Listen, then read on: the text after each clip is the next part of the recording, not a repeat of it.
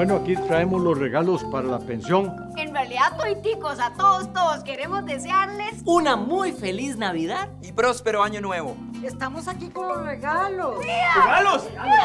Les quiero contar que estamos preparando un capítulo especialísimo para el 24 de diciembre. El especial navideño de la pensión, de una hora. Por su Teletica Canal 7, no se lo puede perder. ¡Nos vemos! Recuerde, su cita es con la pensión por su Teletica.